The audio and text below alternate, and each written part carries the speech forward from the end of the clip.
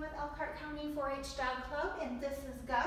He's a four-month-old Newfie puppy, and I just thought he's just too cute not to do some 4-H videos with. So he's here for play and train today with me, and I wanted to talk about marker words with you guys.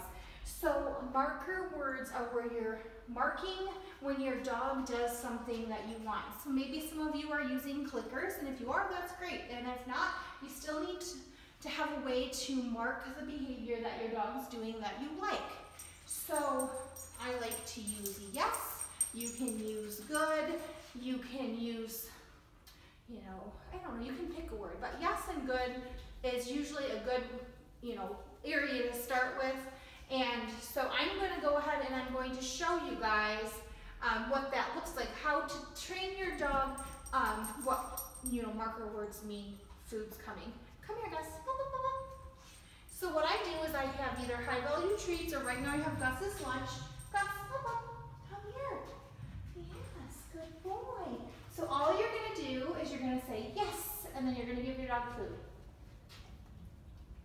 Yes, give your dog food. Yes, give your dog food. Yes, give your dog food.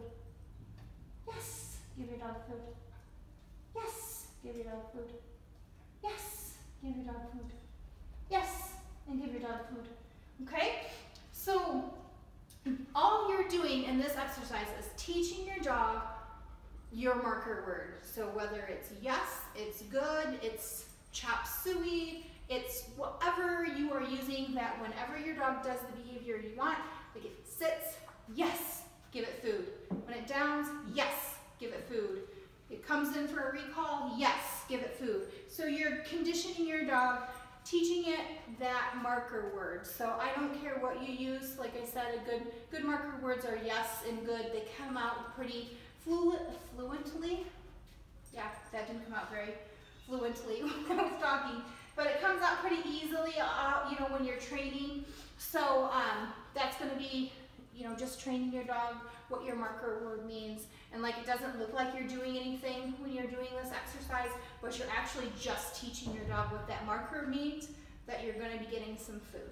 All right, guys, we'll see you soon.